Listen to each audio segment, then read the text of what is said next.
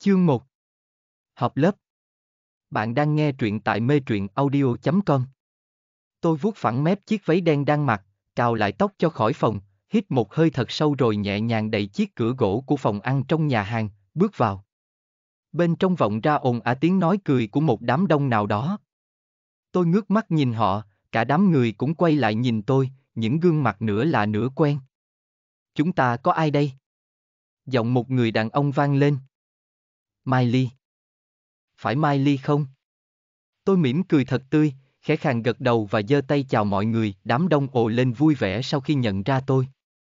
Phải, đây là những người bạn học cùng tôi cấp 1. Chúng tôi đã không gặp lại nhau ngót nghét hơn 20 năm rồi, nhìn những gương mặt đã bắt đầu in dấu vết thời gian, tôi chỉ nhận ra được vài người trong số họ.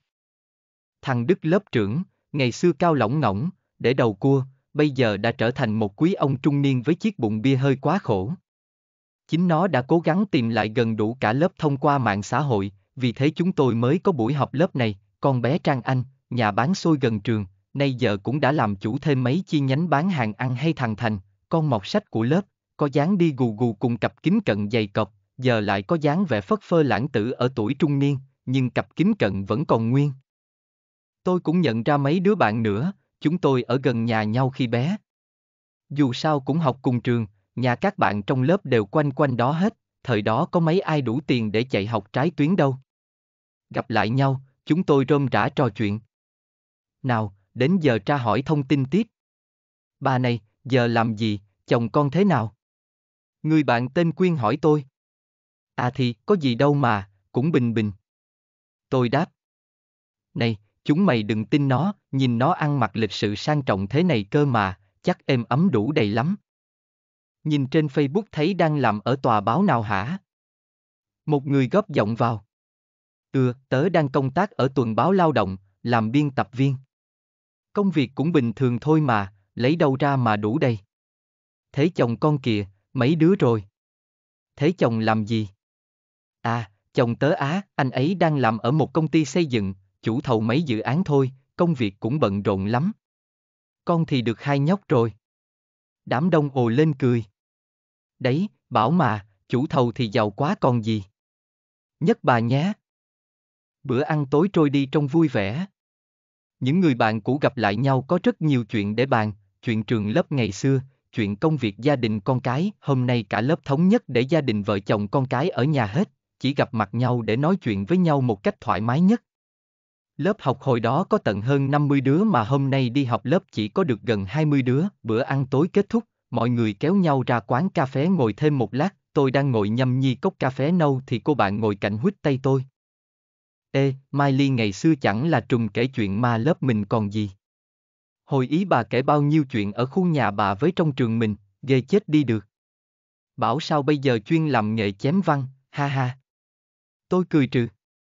Đúng là ngày xưa tôi bị nhiễm thói quen mấy đứa trẻ con trong xóm, thích nghe kể chuyện ma, dù rất sợ.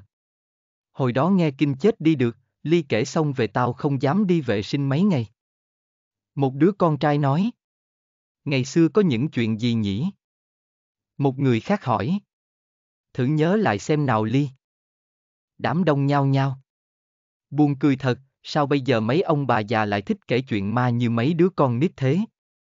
Tôi cười đáp lại. Ơ nhưng mà ngày xưa khu nhà mình nhiều ma thật đấy, thấy bao nhiêu người bảo thế, mà mỗi tòa nhà của mình thôi ấy, Liên nhỉ. Con bé Liên cất tiếng, nó ở cùng khu tập thể ngày xưa với nhà tôi, ở dưới nhà tôi hai tầng. Hồi bé tôi với nó hay đi học cùng nhau, sau khi tôi chuyển nhà khỏi đó thì mất liên lạc. Tâm trí tôi bắt đầu trôi dần về khoảng thời gian 20 năm trước, khi tôi mới chỉ là một đứa trẻ cấp 1, khuyết hai chiếc răng cửa, da đen xì đen nhẽm. Lời thúc giục của lũ bạn cũ khiến tôi buộc phải nhớ về những kỷ niệm vừa buồn vừa vui của tôi ở khu tập thể cũ. Đâu phải tự nhiên tôi có nhiều câu chuyện ma như thế để kể cho chúng nó nghe. Tất cả những câu chuyện đó, một phần là tôi nghe các chị trong xóm kể mà nhiều phần là do tôi được tận mắt chứng kiến những sự kiện tâm linh kỳ dị xảy ra trong khu nhà tôi từng ở. Từ bé tới hết cấp 1, tôi ở tại khu tập thể 09, 10, khu tập thể có mấy dãy nhà nằm song song hoặc đối diện nhau, gần sông Kim Ngưu. Dãy nhà của tôi ở là nhà C6 có cả thảy 4 tầng, khi tôi lớn lên và biết nhận thức hơn thì tòa nhà cũng đã cũ rồi, tường nứt và rêu phong bám đầy. Khu tập thể có tên là 09, 10 vì đây là khu nhà dành cho những công nhân viên chức theo ngành bưu chính, làm ở bưu điện hay vận chuyển thư báo, còn ngày 9 tháng 10 là ngày bưu chính quốc tế. Mẹ tôi nói cho tôi như vậy. Nhà tôi ở trên tầng 4, tầng cao nhất. Mỗi căn phòng nguyên bản chỉ có 20 mét vuông nhưng dần theo thời gian, cư dân nào ở đây cũng đua thêm ra chuồng cọp và bếp ở đối diện nhà, chỉ chừa lại một hành lang bé tí xíu để đi lại. Được cái là hàng xóm láng giềng lại rất thân thiết với nhau.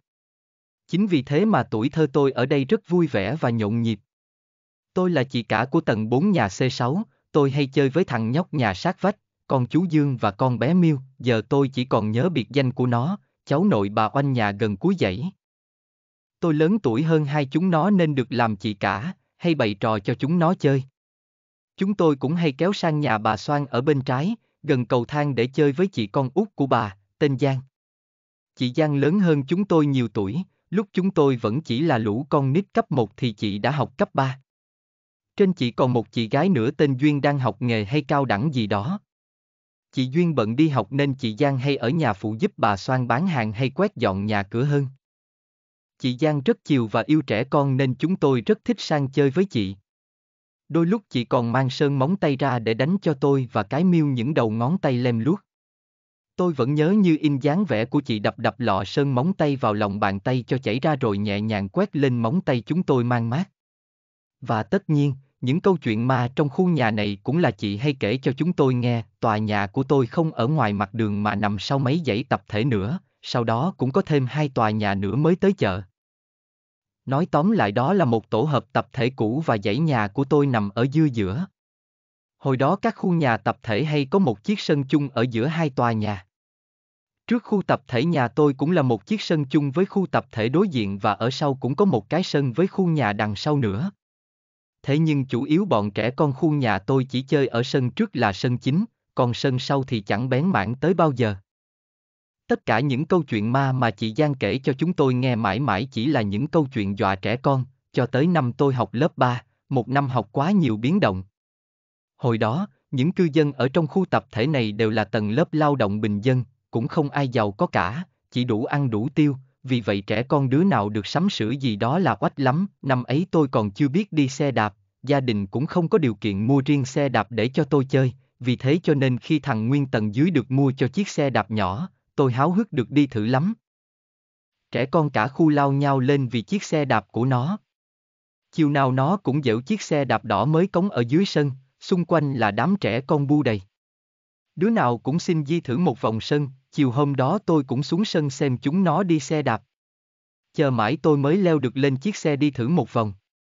Vì chưa biết đi xe hai bánh nên tôi chỉ biết di chân rồi đu lên, khoái chí lắm. Hăng say quá nên tôi đi mấy vòng chưa chán. Những đứa khác chạy theo đòi tôi trả xe nhưng tôi vẫn cứ cố đi, bất chợt mấy thằng con trai ngang tuổi tôi hay lớn hơn dặn lấy xe khiến tôi loạn choạng, một đứa chen lên phía tay lái định đẩy tôi ra để ngồi lên yên.